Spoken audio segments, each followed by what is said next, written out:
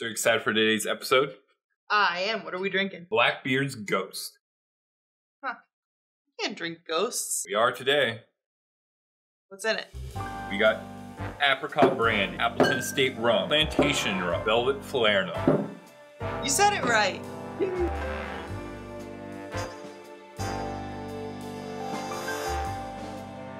So the reason why I chose Blackbeard's Ghost is someone recommended it to us on Steve the Bartender group when I asked them, what are cocktails that you like to have? Velvet Falernum. I looked up that recipe and it looked super interesting. Yeah. because we did the Saturn and that was gin based, and this is rum based. So it's got two ounces of rum, which I'm excited about. It's even got more Velvet Falernum in there, a full ounce. hmm And I think the crazy part is the apricot brand. I kind of think that kind of throws a little wrench into it. Yeah. Takes throws you for a loop. Right. And what's great is it's one of the first bottles we bought is our apricot brand, Yeah. and uh, it's didn't- good. I, Yeah. I, I like it. We just don't make it a lot. We don't drink a lot of brandy, so Right. I think this is definitely interesting for sure. You know, you got fresh orange juice, which is a common a lot of tropical drinks, and then you know the the rums. We debated a while to what dark rum should we buy. Um, I know some of them recommended like a Demerara rum, uh, black rum.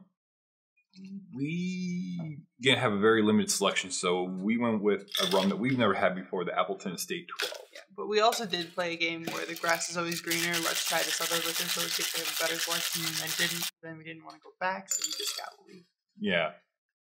Yeah. So the rum selection here in eastern Iowa slash western Illinois is not the greatest. But it works for us again, you know, because we're doing this at home. Right. We're having fun doing it. Right. And we did try the Appleton Estate by itself. It tastes pretty good, I think. Yeah. You know, I mean, let us know if you want us to do a comparison video on the Appleton Estate rum series. That might be a little fun. I'm excited to try these. What do you think? I'm really excited, and I am even more excited about these Surfside Sip straws. Yep. Again, they're great colors. Yes.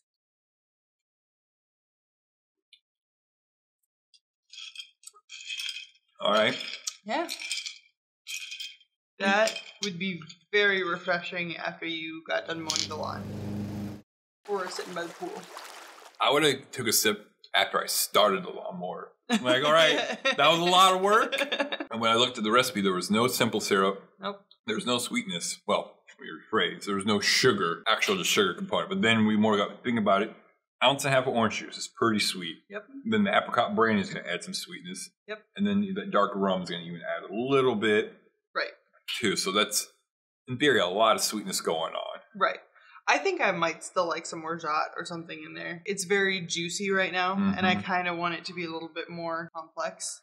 I would say I think the Velvet Falernum does not shine that much in this one. Like it Oh, I Saturn. taste it. You do? Oh, yeah. Oh, I mean, I got to reevaluate my palate here. Yeah, it's there. I just definitely taste the apricot and the dark rum. See, I'm getting a lot of dark rum and lemon. Oh, yeah, lemon too. Um, but yeah, I think a little bit of sweetness, a little bit of added sugar in there somehow would round it out a little bit Yeah. more. I know I saw several different recipes for this cocktail. Let us know what recipe you tried with this because I'd be interested. They all look really good. I just picked this one because it had the most booze. and I was like, let's do that one. That is uh, Carl's standard operating procedure is to order the drink that has the highest alcohol content. Like if it's really, really, really hot out and I am outside and I don't want to be outside because I am sweaty, this is what I want. Right. Yeah, I think it's definitely great. Uh, so again, this is going to be Falernum Week. We hope this is a cocktail that you guys will try. You can check out our first video that we did, the Saturn, which that was a really good Yes. cocktail with passion fruit and gin. Our next video, we're going to do another cocktail that we've never tried, bourbon based with Velvet Falernum. So Interesting. check that out. We're running across all the spirits Tink. this week.